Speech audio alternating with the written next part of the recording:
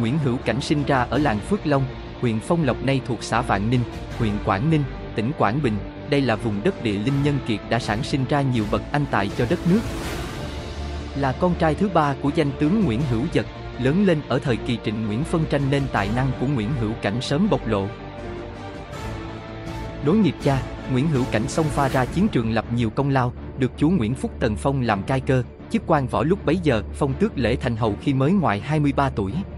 Với vóc dáng hùng dũng, nước Giang ngâm đen lại sinh năm dần nên thời đó thay vì tên thường gọi người ta tôn ông với danh Hắc Hổ. Năm nhâm thân chú phái lễ thành hầu Nguyễn Hữu Cảnh làm thống binh an định bờ cõi, đạt được nhiều kết quả khả quan.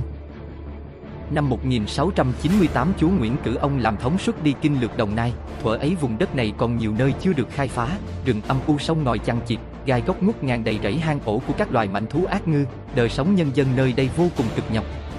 Chính vì thế mới có câu nói, Đồng Nai địa thế hải hùng, dưới sông xấu lội trên dòng cọc ung.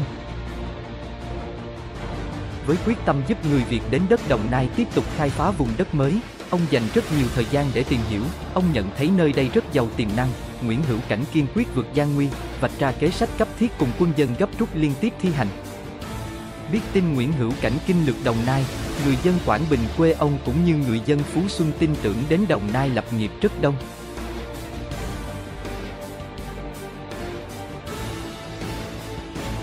Thời ấy có câu ca dao rằng, làm trai cho đáng nên trai, Phú Xuân cũng trải, Đồng Nai cũng từng. Nguyễn Hữu Cảnh nhanh chóng thiết lập cơ sở hành chính thôn xã, lập gia đình phủ trên phần đất từ sông Đồng Nai đến sông Tiền và chính thức cho sáp nhập vào bản đồ Đại Việt, được ghi rõ trong gia đình thành thông chí của Trịnh Hoài Đức. Từ đó mà đàn trong hình thành vùng đất gia định và Đồng Nai đầy thịnh vượng, cù lao phố của Đồng Nai trở thành cảng sầm uất nhất miền Nam lúc bấy giờ.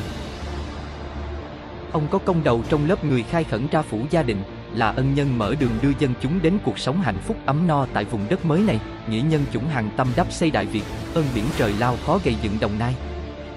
Năm 1699, vua Cao Miên là nặc thu cướp bóc dân buôn người Việt, Nguyễn Hữu Cảnh được cử làm thống suất đem quân tiến đánh.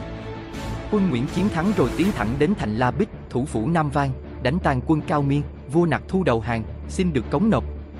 Công cuộc an định biên cương mau chóng hoàn tất, ông hạ lệnh dông thuyền xuôi dòng Cửu Long về Dinh Trấn. Nhưng khi về đến ngã ba Tiền Giang, Rạch Gầm, tục còn gọi quảng này là Sầm Giang, ông bỗng bị bệnh mất đột ngột. Khi ấy nhằm ngày 9 tháng 5 năm Canh Thìn, tức năm 1700.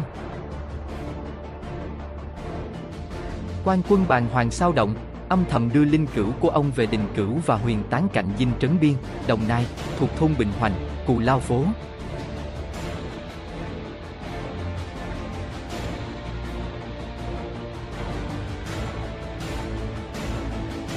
Chúa Nguyễn Phúc Chu xót xa, ban sắc truy tặng hiệp tán công thần, đặt tấn trưởng dinh tráng hoàng hậu, vĩnh an hậu, thụy là trung trần.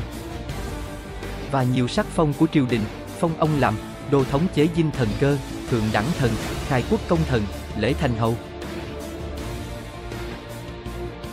Có thể nói, chính sự khai phá vùng đất mới của Nguyễn Hữu Cảnh là cơ sở để chú Nguyễn từng bước thu phục các vùng đất khác.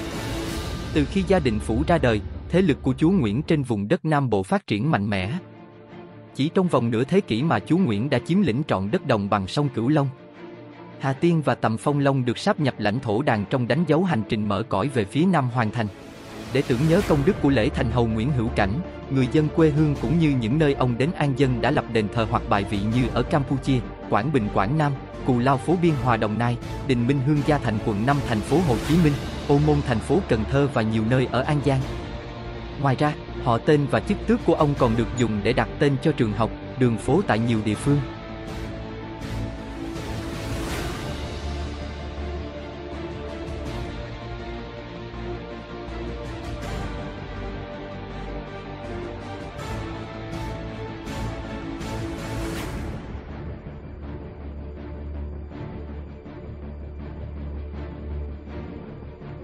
Và đó là một số thông tin về lễ thành hầu Nguyễn Hữu Cảnh, danh nhân lịch sử văn hóa đất Đồng Nai.